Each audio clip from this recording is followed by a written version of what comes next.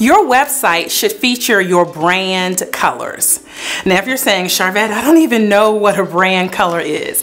Typically, your brand should be represented by two to five different colors that you use on a consistent basis. So when I arrive at your website, I should know what your brand colors are because every page on your website should be in your brand colors. And so number one, make sure you select two to five brand colors. And you can work with a branding strategist to help you do that.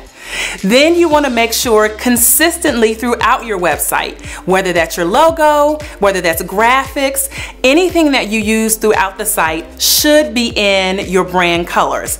Now take it a step further, your social media graphics, your business cards, your retractable banners, all of those should be in your brand colors because all of those things lead people back to your website and you want to make sure it's a consistent flow for your customers and your clients. If you want to get more information about me, follow me at sharvettemitchell.com.